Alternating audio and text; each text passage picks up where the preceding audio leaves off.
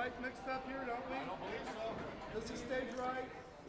We've been excited to come here for the longest time because we, I mean, we, we, we sell well in every market, but when it goes that quickly, you know that there's a, a certain excitement that the audience is going to get out of it, that we're going to get out of it as well.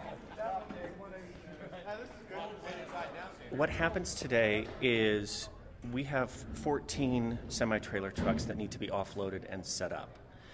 Most of today will be spent unloading the equipment, getting all the flying pieces in the air, getting lights up in the air, and then we start putting in, you know, the deck and the set pieces.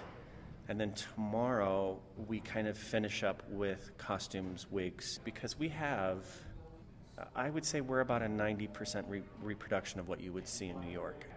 It's a $14 million production. We don't spare much in terms of taking it out to the public. Who told you guys to take a break?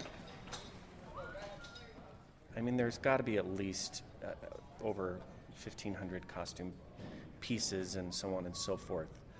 I know we have 100 wigs. In terms of set and moving and other set pieces, uh, you know, enough that fills 14 trucks. A lot. We have flying monkeys.